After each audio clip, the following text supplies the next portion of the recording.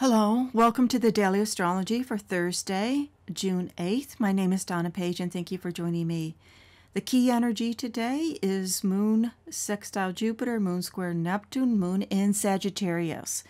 All about beliefs, going for it. We're the day before the full moon, so you could feel a lot of emotions. The, the Sabian symbol for today is a large archaic volume, and this is symbolic of the experiences we have in life, the volume of experiences we have in life, so that through the self discovery and the wisdom from the past, it illuminates a present for us to be able to create our a future. The key word is background, so within the context of the day, different ideas can come up, memories, different concerns that bring you that sense of the background of what has happened to bring you more hope and inspiration. The moon sextile Jupiter, that particular vibration, remember, moon is in Sag, big. Jupiter wants to expand. There's a lot about wishing upon the star type of vibration. What is it that you wish for? Where is it that you want to go?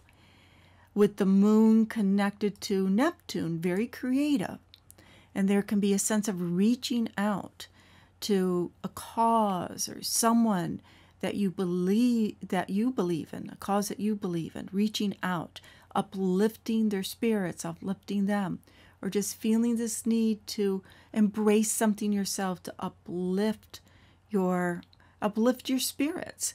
And of course it also is connected with being very creative in moon in Sagittarius, in, in your inspiration, in your dreams.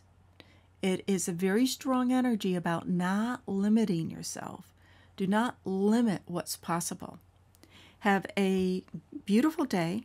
And as always, thanks for joining in. If you enjoyed the video, a thumbs up, sharing, eh, or commenting is always appreciated. Take care. Check in with you later.